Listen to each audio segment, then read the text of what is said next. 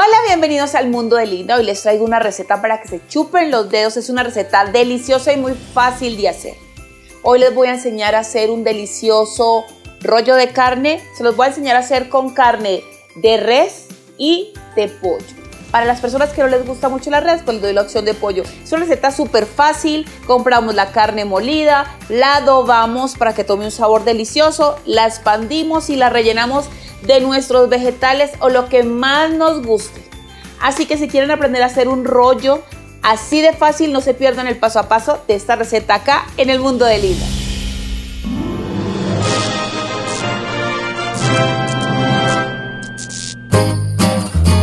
En un recipiente vamos a poner nuestra carne molida, sea de pollo, de res o de cerdo. ¿Qué adobo le estás poniendo, Linda? Le estoy poniendo cebolla en polvo, pimienta, ajo en polvo, paprika o pimentón en polvo.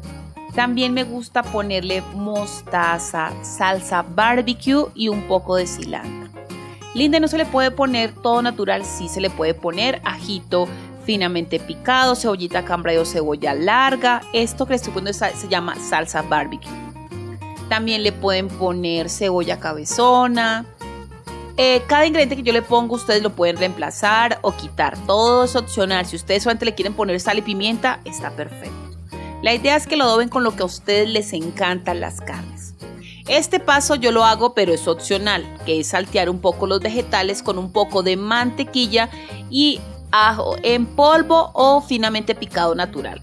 ¿Qué vegetales? Zanahoria, eh, habichuelas o ejotes, como se le dice en México, y calabacita o zucchini como se le dice en Colombia.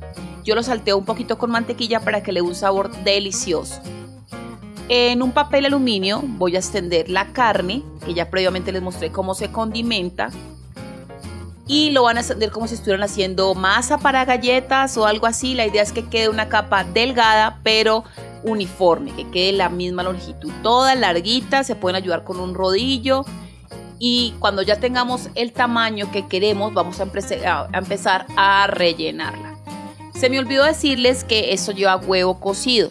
Por si no saben, el huevo cocido se hace en una olla, se pone a hervir agua y se agregan los huevos. Para que no se explote se le pone una cucharadita de sal y una vez que hayan pasado unos 10-15 minutos se bajan y se enfrían y se les quita la cáscara. Yo en este caso estoy utilizando tres huevos como ven, mi rollo es muy delgado y a mí me gusta irle poniendo vegetales durante todo el camino, así que queda más grande.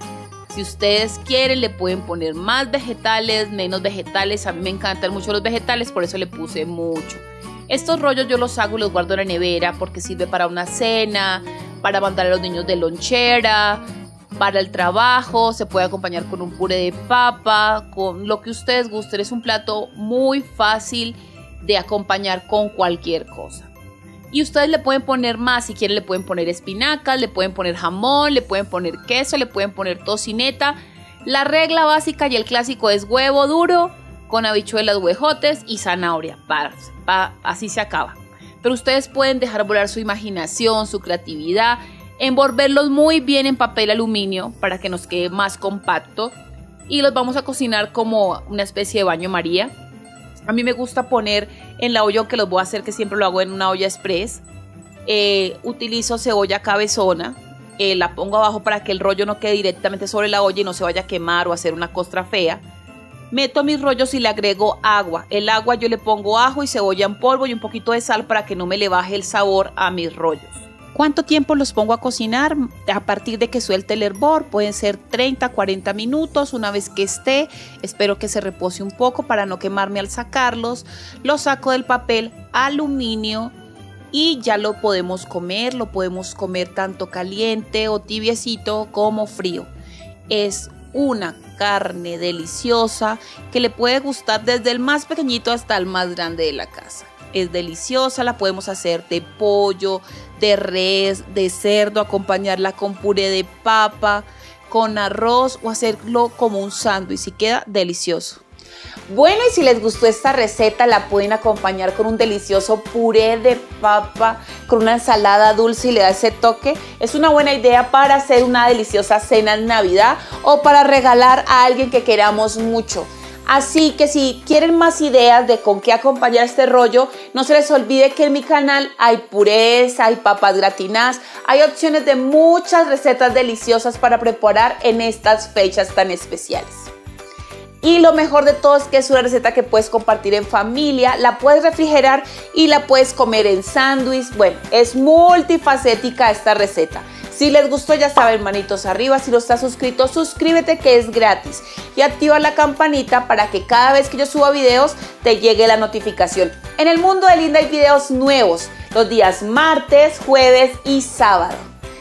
Volvimos y recargados. Si me quieres dejar algún mensaje o me quieres dejar un comentario o una idea de video, si ustedes quieren que yo haga una de sus recetas aquí en el mundo de Linda, ya saben, me pueden mandar la receta a mi correo electrónico que está en la cajita de información o me pueden dejar un comentario y yo se los voy a contestar con muchísimo amor. Los quiero mucho, les mando muchos besos y nos vemos hasta la próxima.